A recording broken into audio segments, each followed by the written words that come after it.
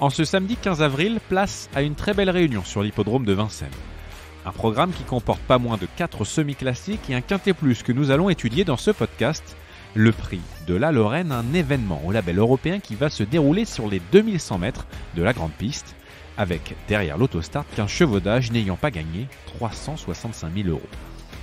Feu rouge, le numéro 6 Ingo n'a désormais plus de marge de manœuvre dans cette catégorie.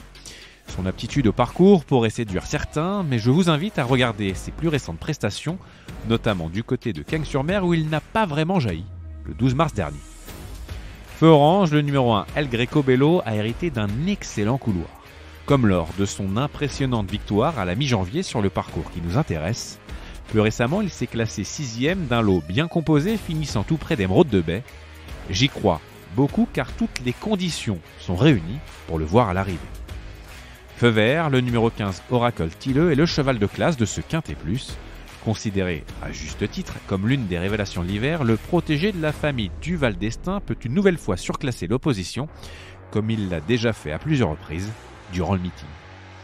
Alors, pour décrocher la bonne combinaison, je vous propose un champ total en flexi 50% pour un montant de 11 euros, en s'appuyant sur le 15, le 10, le 4 et l'As.